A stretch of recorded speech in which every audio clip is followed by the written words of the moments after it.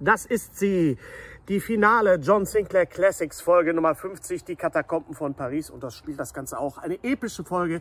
Deswegen äh, ist sie auch auf zwei CDs erschienen und äh, quasi der Übergang von der Classics-Reihe in die normale John Sinclair-Serie extra geschrieben, exklusiv.